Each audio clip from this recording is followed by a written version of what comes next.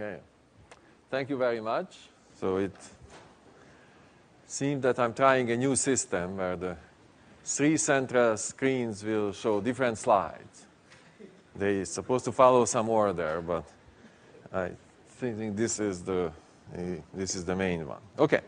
So, so we had this theorem to, um, I think I, I mentioned it, that that if there is a flat projective morphism with stable fibers and that's reduced, And sort of a problem was that if you are looking at the families of curves and a flat projective morphism whose fibers are stable curve, that's exactly what we want in a moduli theory.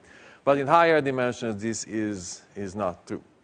And so there were three equivalent conditions. The first one is that the volume is locally constant. It's just the self-intersection of, of the canonical class. Then the second is that the plurigenera are locally constant. You should view this as some very nice thing which we don't necessarily need, in a moduli like theory, but it's nice to have. And, and, and the third condition is that if you look at this relative dualizing sheaf, you take its m's power. Now, the m's power is pretty bad because the relative dualizing sheaf need not be locally free. So then, then instead of taking the m's power, take its double dual, may make it, it, it, it reflexive, that that's flat and commutes with base change. And so I would like to, to explain the, the proof that these three are indeed equivalent. Okay, so it seems to be working. Yeah. And so let, us see 3 implies 2, okay? And, and so, so, I wrote down condition 3, uh, again, that, that, uh, that these powers are flat and commute uh, with base change. Now, for commuting with base change, the most important thing is that, that if you restrict it to the fiber, then you get the, the, the, expected thing. And so then, then it is pretty much equivalent to, to, to saying that if you just look at the dualizing sheaf of the fiber and you look at its reflexive M's power, then, then you get some sheaves that these form a flat family. And so then, of course, the, the, the, the, of course, the Euler characteristic is then locally constant. Now, if this exponent is 2, then, uh, then we expect that these sheaves have no higher yeah, cohomologies. So certainly in the smooth case, that comes out of Kodaira's vanishing theorem, because it's so 2 times the canonical class is the canonical class plus the canonical class, and we are assuming that the canonical class is ample. Now, now we have some some sort of issues here. The, the, the, sort of it's harder vanishing theorem. So the the Kawamata is not enough here. It needs something, something stronger, but it's okay. Yeah. So so that means that for m at least two, we we we, we have the Euler characteristics locally constant, and there are no higher uh, cohomologies, and so that means that H0 has to be has to be locally constant. Now, if m equals 1, well, it's a different rand story. So in the smooth case, it comes out of Hodge theory, yeah, that, that uh, we expect that, in fact, the cohomology groups of the dualizing sheaf, they should be dual to some cohomology groups of the structure sheaf. Uh, and now, the, the, then the cohomology group of the group of, of the structure sheaf, they are locally constant, and essentially, this is what the notion of Du Bois singularities was in, uh, invented, and it was proved with Kovács that these semi-log canonical singularities, they are Du Bois. So, so that means that the cohomology groups of the structure sheaf, they are locally constant. Now, I should say that the, the, the, this duality that, that we say, we expect is not true here because, because semi-log canonical singularities do not have to be to, to be, be, be Cohen-Macaulay. But, but sort of we understand how much non-Cohen-Macaulay it is. You have to work on it, but, but sort of basically this argument man, meant works. So you can sort of, of, of pretend that this duality works out. Okay, now uh, let, us try to see some, some uh, hmm. This is not the slide I expected, but let's go ahead. Okay. and so it sort of might be just sort of my doing. Okay. Okay. Yes. And so, so uh, now then, uh, be, before looking at the other the cases, I would like to, to just look at some examples. So, that, so, so how can it happen that, that something is, for instance, Cartier in every fiber, but in fact not Cartier? Okay? So, so let's start with uh, this example. I have a threefold, which is uh, the, the, the quadricone. I mean, it's just an affine by threefold. And I map it to, I project it by u minus v. It's just so, so the numbers work out better. And then I look at the divisor, x equals u equals 0 and y equals 0, just the union of two planes that meet at the origin.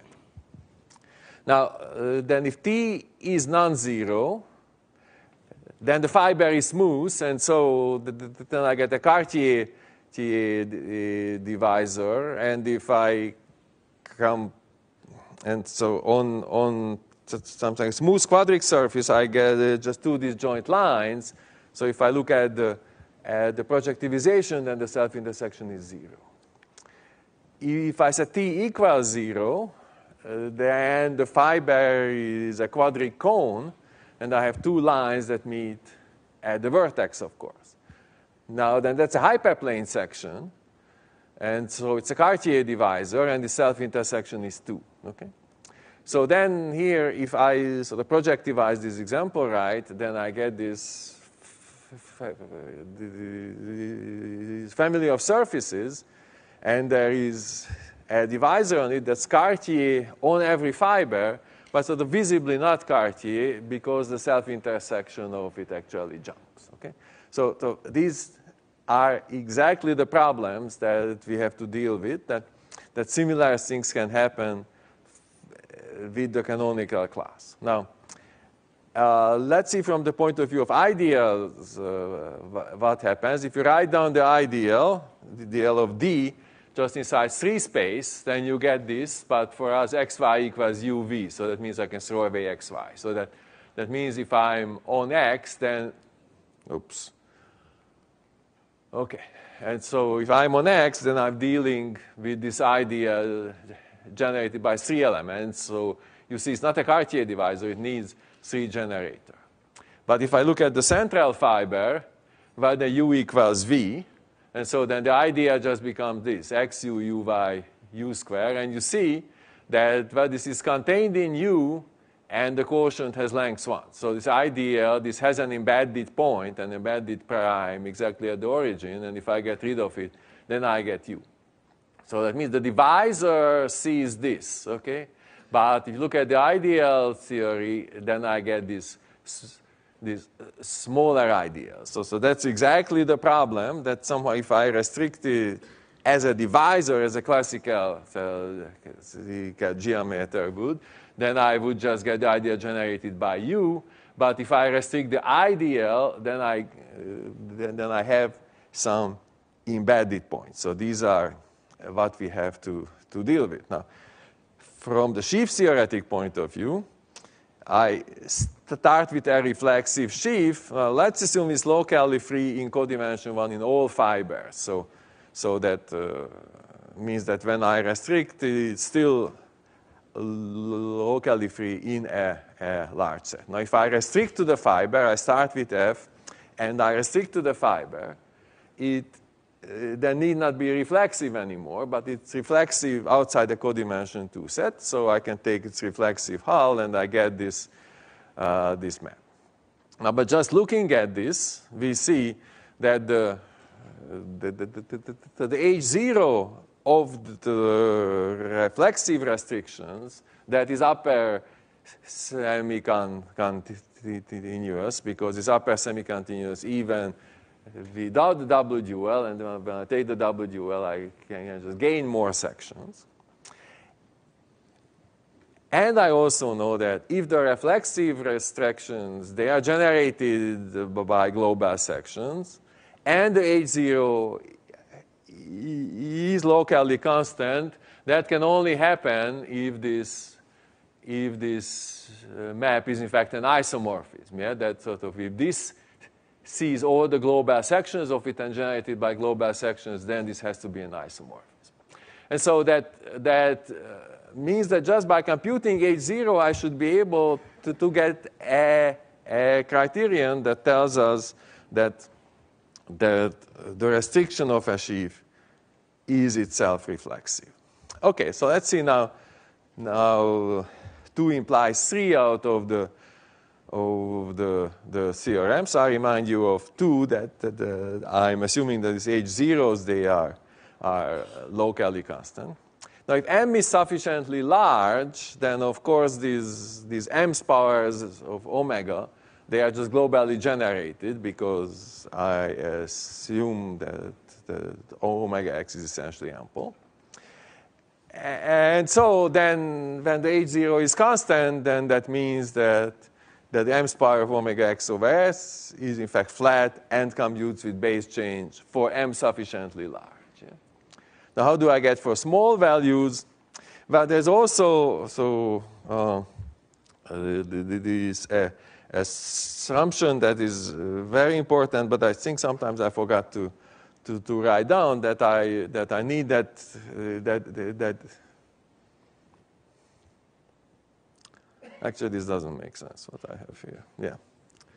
Um, yeah, yeah. Oh, oh, okay. So, so, uh, so I think I sort of jumped ahead here. So, so if, if I'm at a fiber, yeah, uh, then I know that some power of omega x over s it, it will be locally free. Omega access on that fiber will be locally free, say the capital M's power. Now, if it's flat and commutes uh, with, with, base change, then it says that the relative omega x over s to m, that also has to be locally free near that fiber. Now, once sort of I know that that's, that's locally free, then then, the, the, the, then there is this isomorphism. So if I so if I look at the m plus m's power, it is the same as just the m's power times the m's power. And I should have thought that I cannot pronounce capital M differently from lowercase m. Okay? And so that means if I know, know this for sufficiently large that it is flat and commutes with base change, then I know it for the lower values as well. Okay.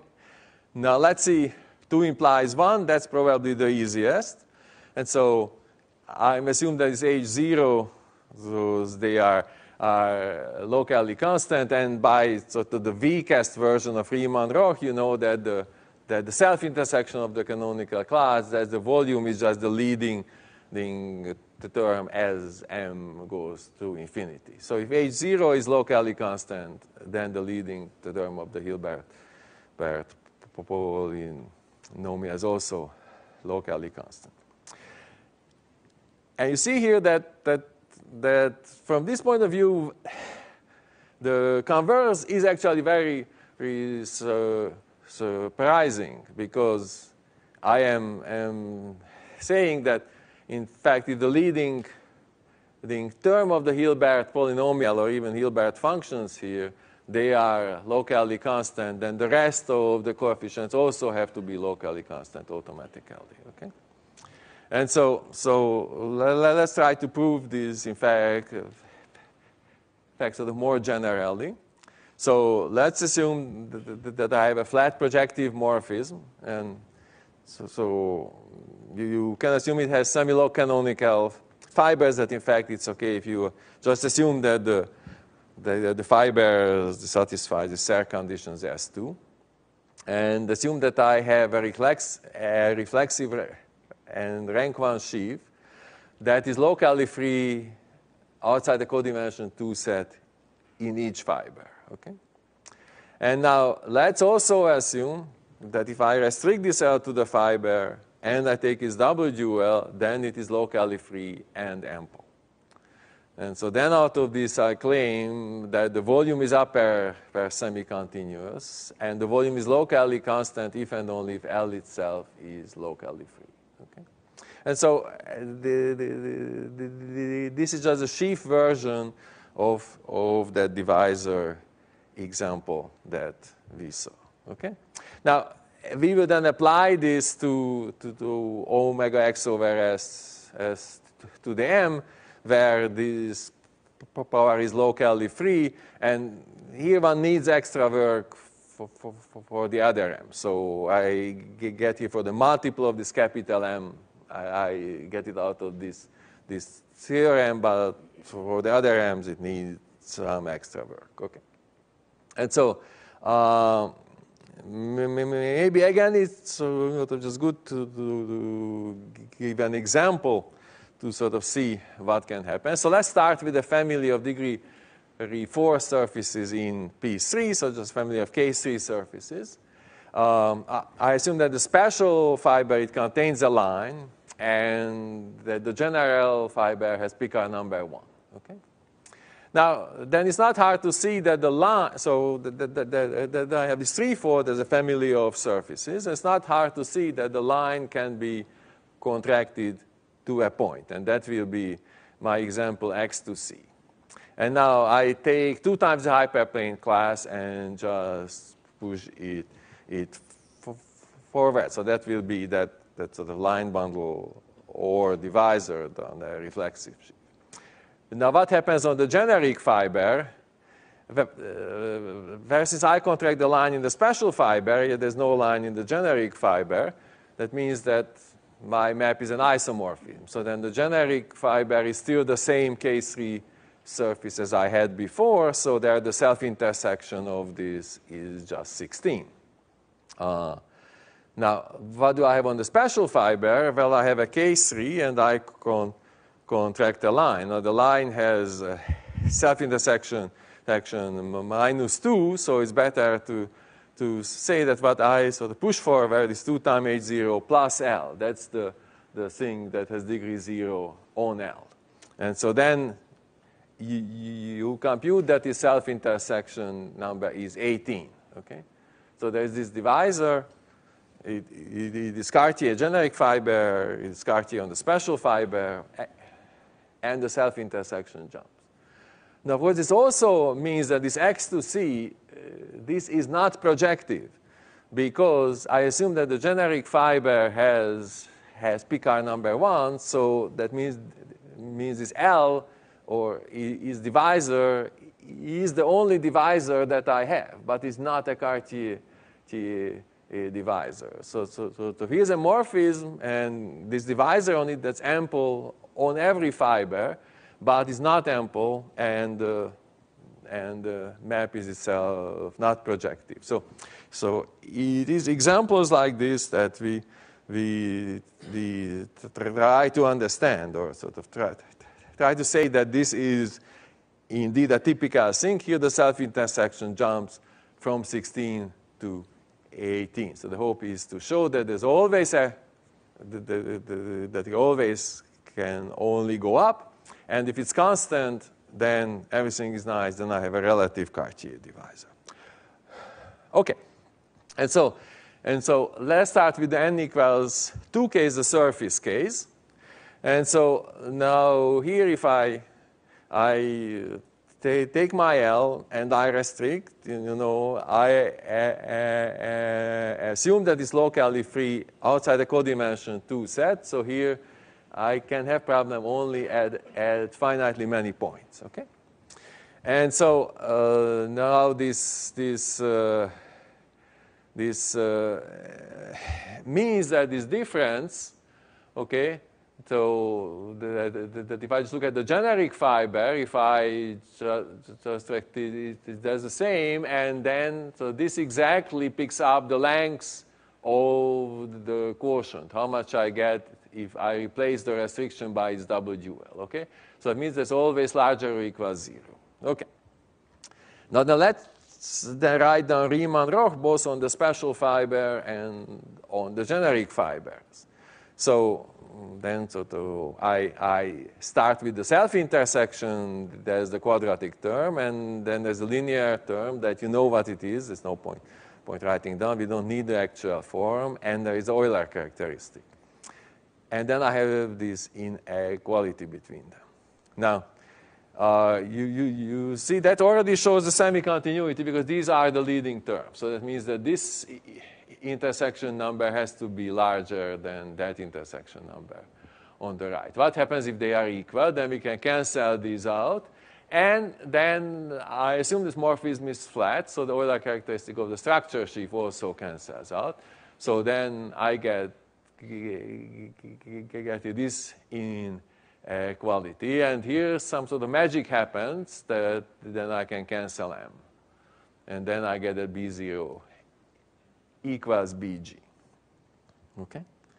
And so, um, and, and so, now, but, but, but that's sort of the unlucky thing is that, that you see this works only for surfaces. This will not work for threefolds.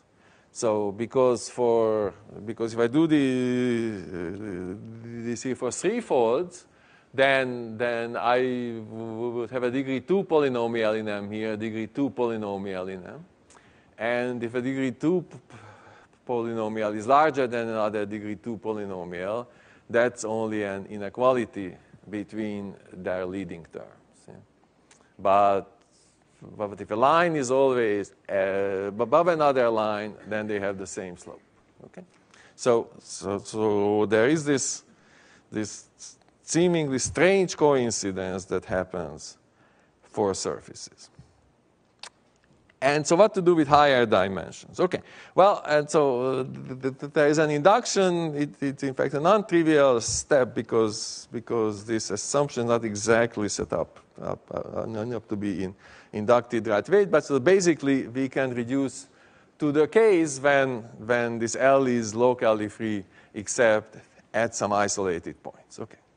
Now, the, then remember uh, what the local growth Grothendieck-Lefschetz says.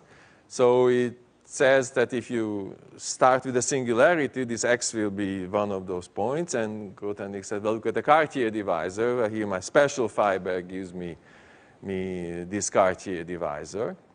Then if I look at the Picard group, group of the puncture neighborhood of x, of course I can restrict it to the the Picard group of, group of the puncture neighborhood of X inside, inside the divisor. And the Grothendieck-Lefschetz says that this map is an injection, which is, is, is, exactly what we want.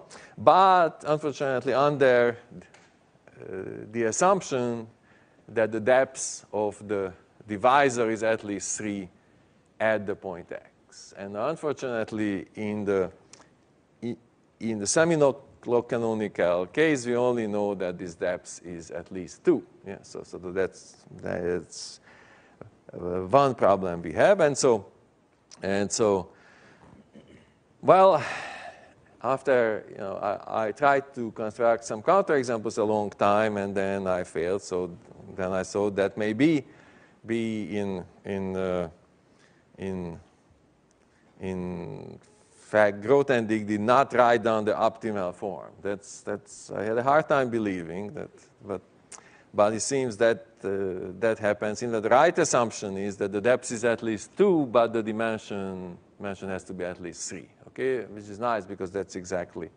the, where we are up. And then, well, it was proved in, so I proved the semi-log canonical case, then I think that's a very nice argument about and de Jong arbitrary normal case, and then, and then out of this, uh, one can derive the general uh, case. And, and if you understand, now de Jong has a nice argument for the general case, or see, see. yeah.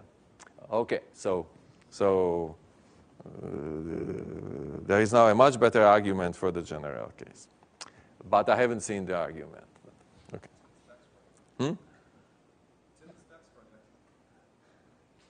Ah, ah, it's already there.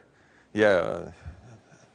Okay, I mean, actually, sort of that's the depressing thing. Some of these things I just tell de Jong, and the next day it's in the Stacks project. and, and I still have to write my own article. Okay, so anyhow, okay. Now I think just as a an and aside, I would like to mention another uh, their their their case where where, where sort of the same principle uh, operates that that somehow it's hard to change a Hilbert function without changing the leading term. Yeah. So if you, you have some big divisor and then you subtract a little bit of it, well, then, then you know that these h zeros, they can go only down. And the question is, well, can you arrange that they go down only a little bit? And the answer is that, that, that, that no, if the leading term is not changing, then in fact the Hilbert function is not changing. Okay, so that's just, uh, yeah. And so, so there seem to be several instances that that, that sort of you need to know only the leading term of the Hilbert function and the others sort of automatically follow. I don't, do not completely understand why this happens. Okay. Uh, now, then, then let's get back to the, to the, the main existence uh, theorem that if we, that if we fix the dimension and the volume, d, then there's a projective, of course, moduli space that parameterizes stable varieties of dimension n, where the self-intersection of the canonical class is exactly D. Okay? So now, uh, again, this is a characteristic zero theorem. There are actually numerous problems in, in positive characteristics. And then I just would like to go through sort of the main issues that, that, that sort of go into this, this proof and maybe it, it, it, it sort of generalizations. And so, so uh, one is that well, we need to construct uh, uh, limits. So if I have a, a sort of a nice family of uh, are stable varieties over a punctured curve, then somehow I would like to, to extend it across the, the puncture, at least after some base change. That's already for curves base change uh, might be needed. Now, uh, and so then the, the, the, if you start with smooth varieties, then usually in the limit you get some reducible examples. Now that that means that you have to understand the, the, the cases when your family is it itself, and you start with the family of reducible varieties. So you have to construct the limits even if, if you start with, with uh, parameterizing reducible uh, varieties. And now, then there is this boundedness question. You have to make sure that you do not sort of too many limits. You construct the limits, but maybe they cannot form a compact space somehow. And then at, at some point you would like to add the boundary to it. The same way as for curves, you at some point you get stable pointed curves. Here you would like to add, well, the right thing is adding not points but divisors. Yeah and, and so to, to see what you get there. Now, in the irreducible case, when I have some families of irreducible varieties, then I think I already went through, through the construction of the limit that, that it just relies on, on the minimal model, model program. Now, uh, it, it, it, it, so there are some issues with the minimal model pr pr program that is not, not fully known, but, but Hacon, McKernan, and Xu, they proved the case that's needed uh, for this. So, so, so that this is, is, is done. Now, uh, well, it seems to be at first easy to construct the limits when the, when the general fiber is reducible. So for curves, it's actually very, very easy. Start with your family. You just normalize it. You construct the, construct the limit, and, the, the, you glue together. Okay. Now, and, and so the first two steps are okay in higher dimensions. You can normalize it, construct the limit. But it seems that gluing is much harder in higher dimension than for curves. And uh, I don't want to get into it in sort of large, in, in too many details. So I just uh, want to have sort of one simple example. Uh, and so just for illustration, so I start with two copies of P2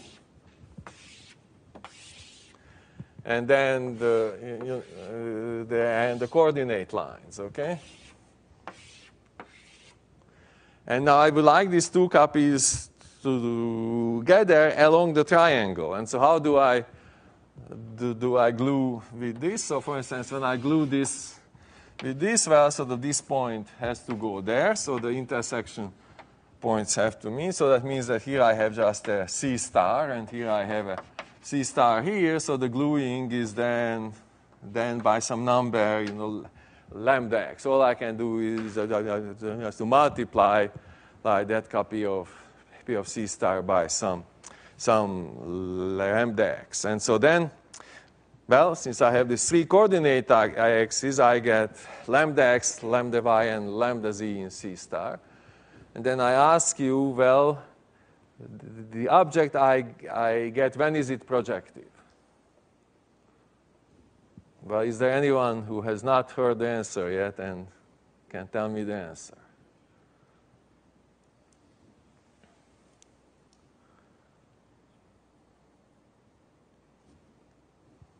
Well, no guesses, so I have to give the answer. It's precisely when the product of these three numbers is a root of unity.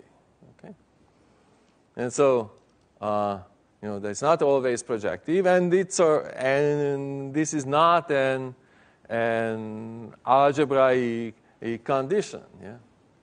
And so, in, in, in fact, I mean, this is not surprising because uh, once you do this gluing, then of course it's a singular K3 surface. Yes, so it's a limit of of the double coverage of P2 that ramifies along a sextic. When the sextic degenerates to sort of double of this, this triangle, then you get exactly this. So, sort of this is really just a baby version of that example that inside the moduli of K3 surfaces, the algebraic ones, they, they form a countable union of, of,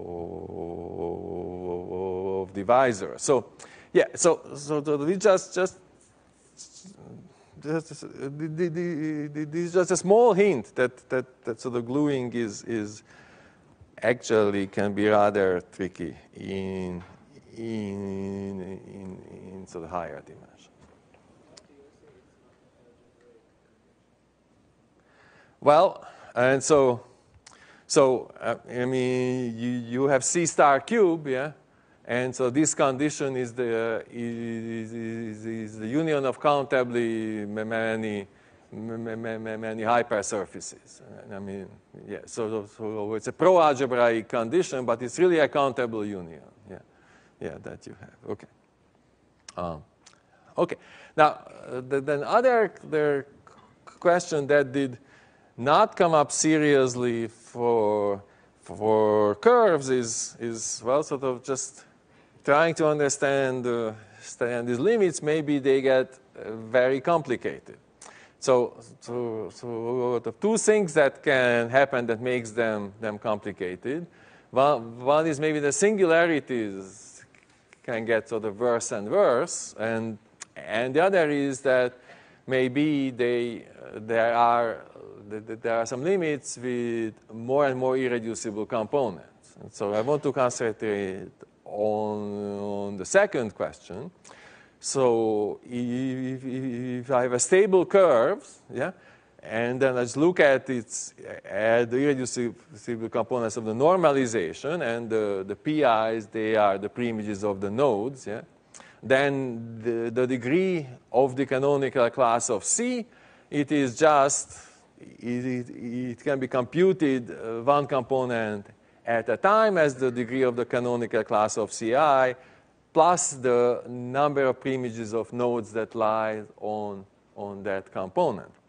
And now, since the canonical class is ample, each summand on the right-hand side is at least 1. So that means that I know that there are at most 2g minus 2 irreducible components in the stable limit. Now, it seems that in the surface case, I can do the, the same thing. Again, I, again, I have a stable surface, and then I just normalize it. Then I get irreducible components Si. And now, where two components intersect, I expect it happens along some curves where, where S has nodes, so then I have the surface Si, and then I have these divisors Di.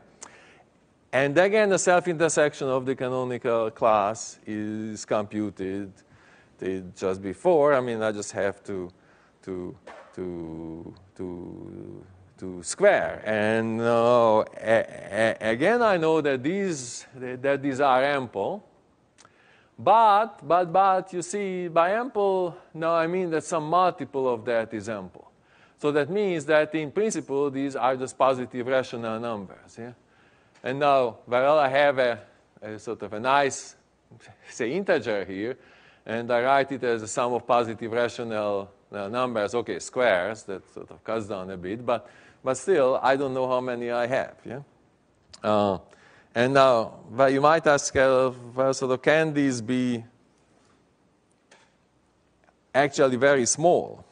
And yes, they can be actually small. So, I mean, just a, a simple example I just wrote down after a few minutes of thinking. Let's look at this projective space with weights 1, 2, 3, and then a divisor in O, O7. Then you compute the self-intersection is 1 over 6, okay? Now, if you are sort of smarter and you think hard like uh, Alexeev and Liu, they came up with an example of example of a stable surface where the self-intersection number of the canonical class is this. And this is pretty small, yeah? This is a, a, a pretty small number. Now, in, in some sense, this is not exactly what we need. We always, so, you know, if the surface is not irreducible, uh, the, the, the, then there's always a divisor part there. And for, for that, I proved long ago that it's 1 over 1764. Okay? Now, in fact, this is the year that Goldbach Bach died but I don't think it's particularly relevant for this. Okay. okay. Uh, now, uh, and, and, so the, the, then, then the really interesting thing, thing theorem here, it was proved by Alexeev and in dimension two, and where it is a very, very hard theorem already in dimension two, and then generalized by Hacon, Mc, McKernan, Xu that if you just look at these, at these pairs, let's say, so they're sort of more general, but for now, just the pairs you obtained by sort of degeneration of, or, or, of irreducible components of stable pairs, pairs, and then you, you, you, you, you compute this, this self-intersection, then you get a subset of the rational, and this this will satisfy the uh, descending chain condition. In fact, for instance, there, there is a positive lower bound of this set. And so then if this lower bound is, uh, say, 1 divided by, say, m, then that means that, that if I know that the self-intersection is fixed to d, then in the, then the limit I get at most d times m irreducible. Uh, components. Now, I think that, that sort of the problem is that so, so, so, I think that for n equals 2, a lower bound is known, but not for high. Already in dimension 3, we know there's a lower bound, but, but there is no lower bound written down. I mean, it sort of has to be sort of sort of small. It has to deal with you know things like this. So so it, it and yeah, but, but, but, but, at least in principle, uh, we have an answer that can be only a bounded uh, number of irreducible components of the limit. Now,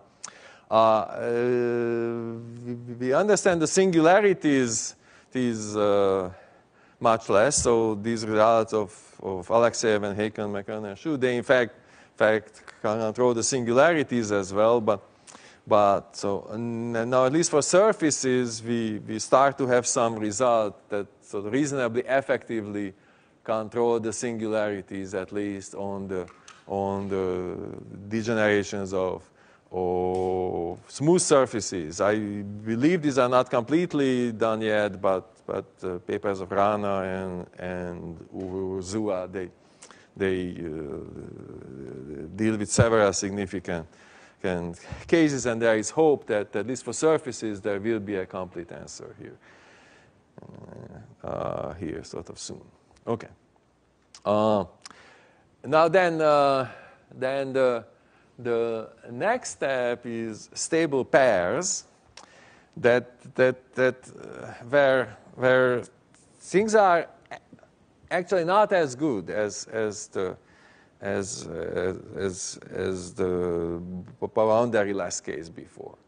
And so, uh, what are these, these stable pairs? So, so you see, the, that's what, so what I mean. The curve case, I just had a curve with nodes and I marked with some, some, with some smooth points and maybe marked them with some numbers. Classically, they were marked with coefficient 1, but sort of now we think maybe the coefficient can be anything between 0 and 1. And so we try to do the same thing. I start with a semi-normal projective or proper variety, and then that I write down an effective divisor, and so the curve case, the point is not supposed to be at a singular point, so then our condition is now a divisor so should not be contained inside the singular locus. I call these Mumford divisors. And now I, I so the, then there are the other assumption that the, that kx plus delta is supposed to be so, uh, supposed to be q Cartier. So if I multiplied by some number, I get an actual L, Cartier divisor. And uh, there is a semi-log canonical condition which says if I write down a log resolution and I just pull back uh, the, back the canonical class, then, then I get, get I, and I write it as the birational transform of delta, plus these are, are, are the exceptional now divisors, then the semi-log canonical condition is that these AIs have to be have to be less than or equal one. And so, uh, yeah, these AIs have an unfortunate that history. It used to be at the other side. So if I look at, at for instance, my book with, with Mori that uses the minus AI, and then, then, then the younger folks like to add one to, uh, let's see, I think they look at actually one minus AI what they like to use. So, so yeah, that's, that's sort of unfortunate, but, but you have to get used to it. Okay. Uh, and so now then the question is, uh, what should be a stable family? Okay? And so let's start with sort of just over a smooth curve.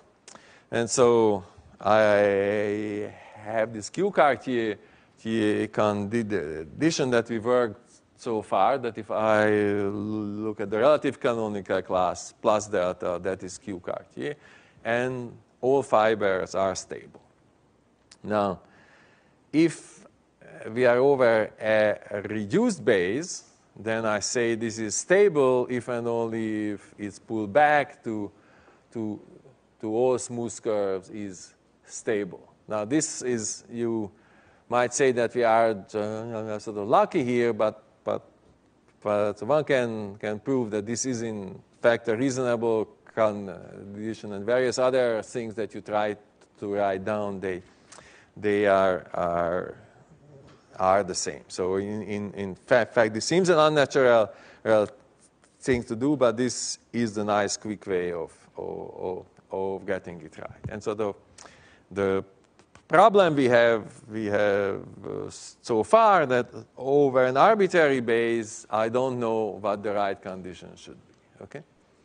and so um, what's the the uh, main main problem? Well, so before I go to the main, so so so the main problem is that the that that the divisors them, them themselves are not flat over the base in general, and and so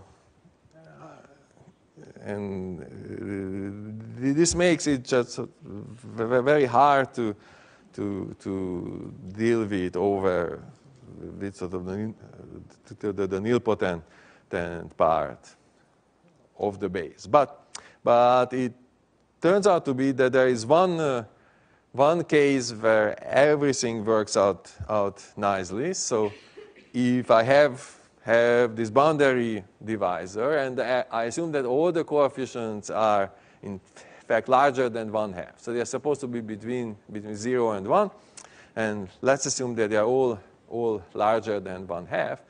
So then I say that these divisors, they J are in fact, fact flat over the base, but that's not much, but the fibers are in fact reduced. So that means that, that, if I take the limit, I do not have to worry about embedded the points. That was exactly the, the problem we had be, before. I had these, these divisors on, on degenerating quadric surfaces, and we did pick up an embedded point in the special fiber.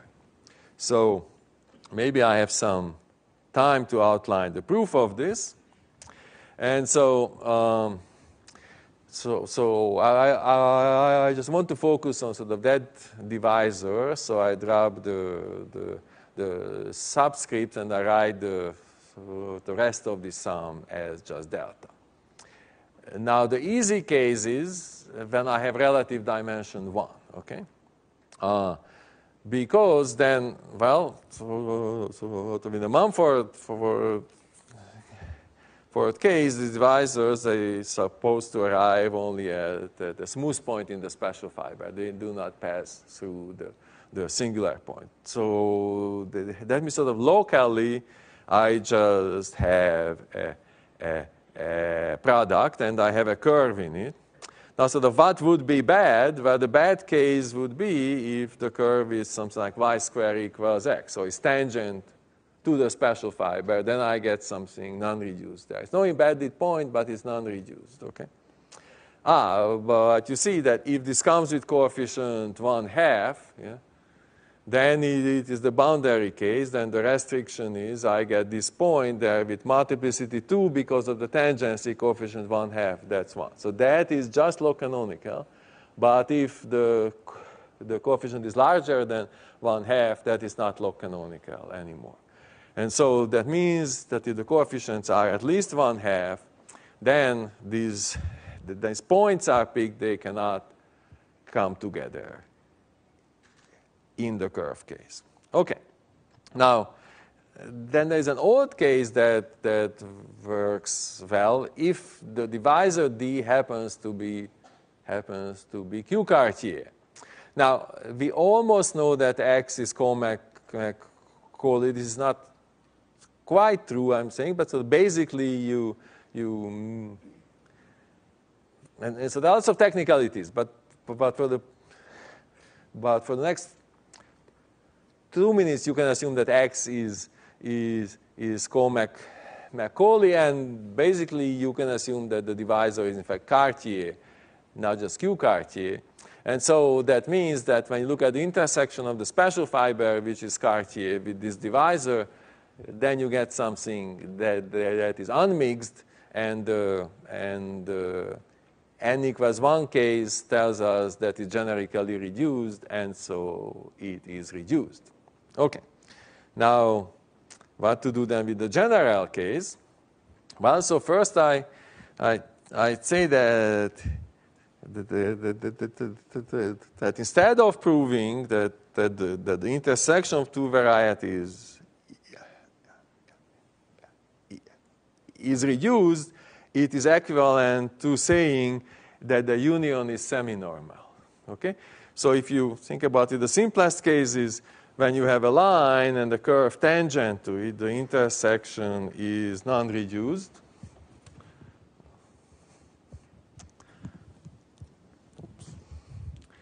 So if there is a line and the curve tangent to it, the intersection is non-reduced, and of course the semi-normalization is just you make them intersect transversally. Okay?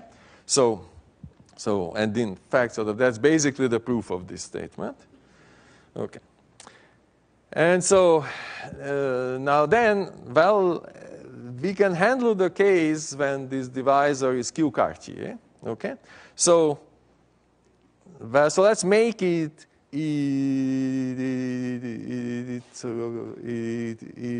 Q Cartier. And of course, we all know how to make a divisor so Q Cartier, sort of in general, so to blow it up, you know, with any ideal sheaf, if you blow it up, you, you get a principal ideal sheaf uh, upstairs. But then there are all those exceptional divisors that, that will make your life hard. And, but if you understand the minimal model program enough and you talk to, I think, Hacon and Xu, then they say that sort of in this case, they can make this divisor Q Cartier without introducing any e e exceptional divisor. So again, the prime example is if you have the three-dimensional quadric cone and sort of a plane in it, then, then uh, the, that's not Q Cartier. But if you blow up, then you introduce only a, an exceptional uh, set that is just a, just, uh, just a P1. Okay, so, so instead of a two-dimensional exceptional set, you just get P2. So you can do the, the, the same thing here. And now you, you, you can even arrange that minus the birational trans form of D is, is in fact relatively nef. Okay, so now then upstairs I have this natural exact, exact sequence and let's push it forward. Okay, now then, so um, I think this is very similar, you know, I mean, this is the standard thing to do and I think that Karl Schwede had actually many example like this. So it would be nice to prove that this is in fact zero. And it sort of looks nice because, so minus x0 prime minus d prime, just, just out of this is g linearly equivalent to, in fact, this. And uh, this looks exactly like our, our, our standard vanishing theorem, the canonical class, plus there is a boundary term, and then, uh, you know, I made minus d prime g nef, so that means that, that, that is a g nef term. And so that means that you hope that, that sort of the general Grauert and Riemenschneider there, there tells us that this is zero. Now, unfortunately, there are some technical issues, some log canonical centers come in, and it's not quite zero.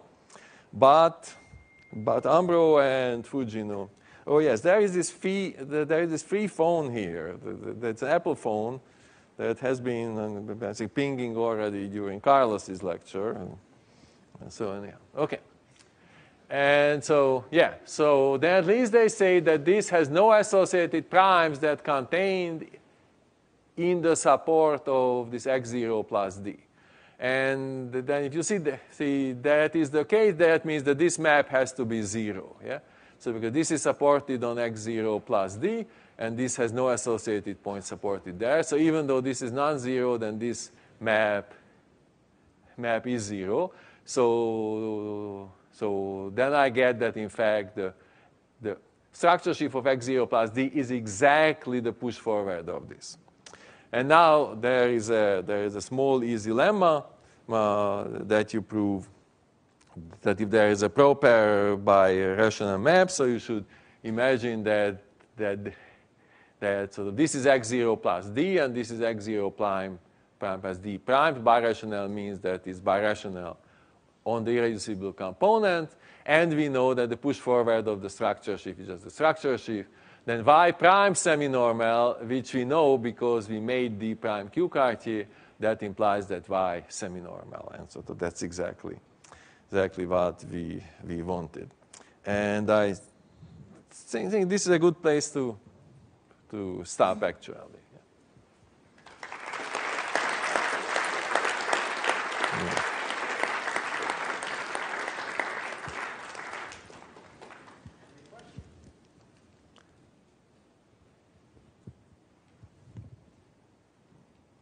So in the first year with the two conditions, if you replace uh, kx by kx plus delta, then what happens? The first two still are equivalent, but the third still.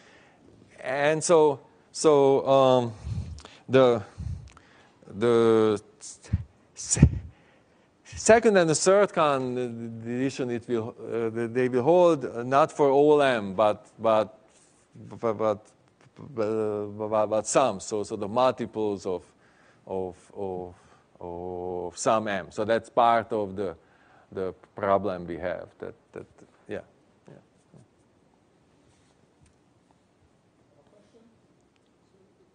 The characterization of uh, semi-log-canonical singularities via volume, does it have some meaning in terms of or intersection? It should, it should, but I, I do not know, know completely. Yeah. One last question, maybe? Would be fun to prove that lemma for us? Hmm? Would be fun just to prove that last lemma for us? Or that fun? Well, and so, uh, okay, so, um, okay, so here is y prime mapping to y, and let's write down here the semi-normalization of this. Okay, now the, now, so, and then well, you show that it sort of just factors uh, through this. Okay, so y, if you take the fiber product, so y prime sorry, y prime cos y Sn. So, yeah, so I, I think you have to prove that this is a partial semi-normalization, but this is semi-normal, so this is an isomorphism. So, so it, yeah, it's, it's, yeah, this is the proof.